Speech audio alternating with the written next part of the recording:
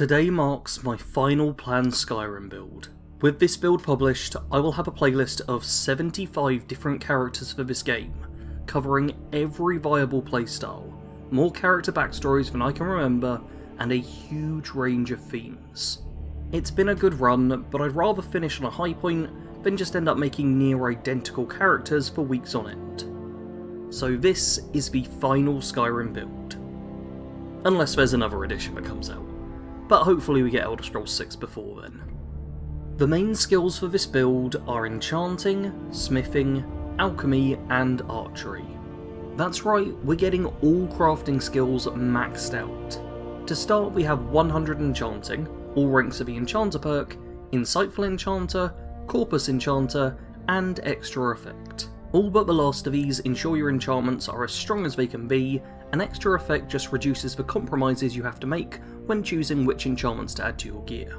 Technically, the elemental enchantment perks would also make your weapon a little stronger, but it's such a negligible difference that you really don't need to spend the points there.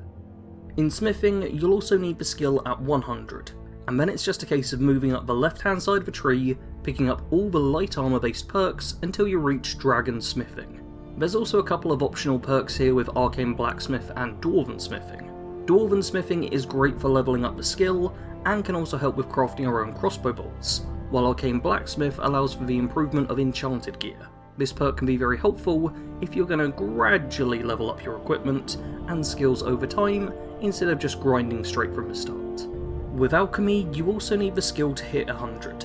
On top of that, grab every rank of Alchemist plus the Physician and Benefactor perks in order to make your boosting potions as strong as possible. I did also consider grabbing Poisoner and Concentrated Poisons in order to make the poisons I crafted more effective, but it was a similar case to the Elemental Enchantments, in that it does technically help, but the difference in power is so small as to be barely perceivable. Finally, within main skills, we have Archery, and you're not going to believe this, but you'll also want to get the skill to 100. After that, get every rank of Overdraw, pick up Critical Shot, Eagle Eye, Steady Hand, Power Shot, and Quick Shot. Honestly, the more perks in archery, the better. The priority is to maximise damage, but there's plenty of good support perks in here too. Onto the minor perks now, where we have Sneak and Light Armour. Sneak is certainly the more important of the two, as in this tree you pick up the Deadly Aim perk, which will provide 3 times damage with both sneak attacks, as opposed to just 2 times. The more you invest into the tree, the better you'll be at sneaking, but with alchemy and smithing, you can end up being far better at stealth than anything in the skill tree will allow. Finally, we have light armour, and it's by far the least important. This skill is more for if you decide to focus more on the weaker combat archer playstyle of a character, and even still, the crafting skills will mean you're close to the armour cap before any investment is had. On to levelling now, where here I'd recommend boosting stamina up to 200, but everything else can happily go into health. I kept the character simple by not adding any spells, so there's no real need for magicka. For Standing Stone, I went with the Atronach Stone. Not really much of a surprise here, it's possibly the most popular in-game Standing Stone to go with, as it makes you so much better at surviving magical attacks, and gives a little extra magicka to boot. While the slower magicka regen is a shame, it's no real downside to us. As for powers, you should be playing as an orc, in order to get the Berserker Rage racial power. This is the strongest activated power in the game, as far as I'm concerned. Doubling your damage and halving enemy damage for 60 seconds is incredible, and makes this already OP build able to one-shot anything and survive any hit. The only downside is you only get this power once a day, but you can always just wait 24 hours after a fight if you want to spam it a little more. The weapon for the build is the Enhanced Dragonbone Crossbow, added in Anniversary Edition. This has a base damage of 30, the highest base damage bow before AE was the Enhanced Dwarven Crossbow at 22, and the highest base damage weapon overall was a Dragonbone Warhammer at 28. This crossbow is 2 points higher than the strongest base damage weapon that Bethesda added into the game. It is ridiculous. As well as having stupid high base damage, you can then throw a couple of enchantments onto it too. I put on Chaos damage and Paralyze, but honestly you could put anything on it. The enchantment damage will always pale in comparison to the raw damage this weapon deals, so don't sweat the choice here too much. maybe try out Fiery Soul Trap to make recharging easier. Or the Silent Moon one, as that never gets much use. As you wield a crossbow, you also get multiple different bolts to use. The exploding dwarven bolts give a lovely little area of effect damage when they detonate, which is nice. For armour, I went with the Studded Dragon Scale set. This is a set you get from Tilted Scales, a quest which starts upon reading a book just inside the Windhelm pub. It's a very easy quest which requires killing a few skeletons in order to get a top tier unenchanted version of one of the best light armours in the game. On top of this, you'll want to make a Hunter's Backpack, not only boosting carry weight, but also providing a 10% damage boost to your bow. What really matters here though is enchantments, so make sure to also grab a ring and necklace to put extras onto. The primary enchantment is Fortify Marksman, and you'll need the ring, necklace, gauntlets and helmet to all be enchanted with this. After this there's then a few solid support choices I'd recommend.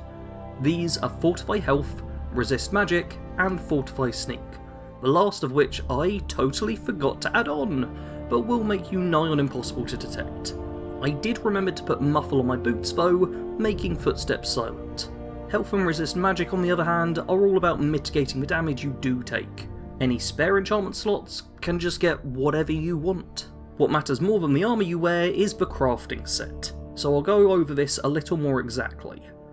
For a crafting set you want a chest piece with Fortify Smithing, gloves, necklace and a ring with Fortify Smithing and Alchemy, and finally a hat with Fortify Alchemy. All of these should be at 35% for the maximum boost. I'll talk about how to get to that point in the playstyle section later. When it comes to factions and quests for this character, you can do all of them.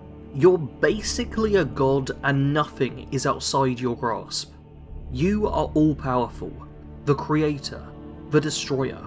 None can stand before you. Your will is truth, and every action you take is unstoppable. But if you want to focus a little more, then there are a couple of factions that really help you out. As a crossbow build, you'll be wanting to join the Dawnguard in order to help ensure you keep stocked up on bolts nice and easy. The other choice is the main quest. You may have noticed a lot of dragon based items on this character, so you're going to want to kill a lot of dragons. What better way to do this than to go through the main quest, which is littered with dragons, and even gets you to meet up with the Blades, who send you hunting dragons. The follower I chose for this build was Teldryn Sero. Why? Because he's the best. No more justification is required. This character is so powerful that all your follower really does is provide a distraction for enemies. For this reason, I'd simply recommend travelling with whichever follower you actually like in the game. Anyone at all is fair game. Except for Farkas, because Farkas sucks. This character is too strong. Seriously, way too strong. It's supposed to be a stealth archer, and technically is, but I had to stop sneaking about when capturing footage, as all the clips were incredibly short. You'll be seeing me constantly one-shotting giants and dragons in the footage, because the damage on the bow is ridiculous. Base damage when wearing your armour is 946. If you then trigger Berserker Rage, that goes up to 1892, and if you sneak attack with it, 5676. Oh, and I made a Fortify Marksman potion that adds 180% damage. So I guess that would put it up to 15,892 damage a shot. Well, not counting the increased damage from the crossbow bolt, extra enchantment damage, any poisons that's been applied, and the armour penetration of the crossbow. To put those numbers in context, the Ebony Warrior has 2000 HP, Alduin has 2355 HP. A single shot would kill them 6 or 7 times over. This build is broken. Now obviously there is some armour and stuff they have from that, but it's, it's just ludicrous. As the damage is so strong, you don't need any tips on how to play. Let's instead talk about how I got the damage numbers so high without using any glitches. To start off, you need to get your crafting gear up to a 35% boost. The way to do this is to make a Fortify Enchanting Potion, use the Enchanting Potion to then enchant some gear with Fortify Alchemy, with the Fortify Alchemy gear, then craft a stronger Fortify Enchanting Potion, which you use to make stronger Fortify Alchemy clothing, and so on and so forth. Repeat until you hit 35%, and then make sure you've got smithing on there too. Once this is done, you can then make a strong Fortify Smithing Potion, consume it, and improve your weapon and armour. Once your gear is all made up, you then want to look at crafting potions to improve your character while out and about. And here I have four new recipes using ingredients from Anniversary Edition. First is the All Healing Potion, which requires combining Ambrosia with Void Essence. This fortifies, restores, and regenerates health by a huge amount. The perfect potion for providing a pick me up. Then we have my Damaging Poison, which requires combining a Chokeberry with Imp Stool and does some pretty devastating damage, even if it's not really needed. Then there's my Extended Invisibility Potion, which you craft by mixing Screaming Maw and Luna Moth Wing. This provides over 2 minutes of invisibility and some health regen to boot. Finally is the most important of all the potions, Fortify Marksman. Mix together Corkbulb Root with Elf's Ear in order to get the highest boosting potion I could find, adding that delicious 180% damage to bows for 60 seconds.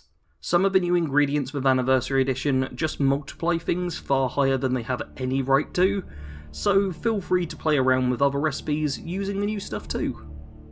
As a youth, this orc had led a pained and torturous existence.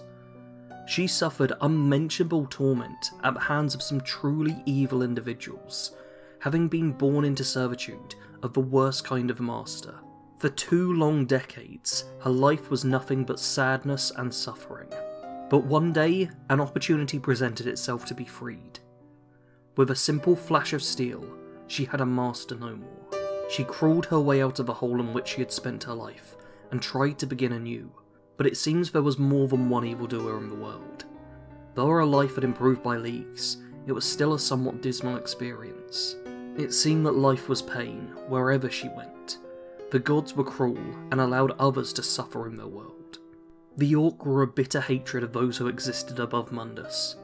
She had hatred burning in her heart, a hatred which would burn bright and make her strong enough to shape the world as she saw fit.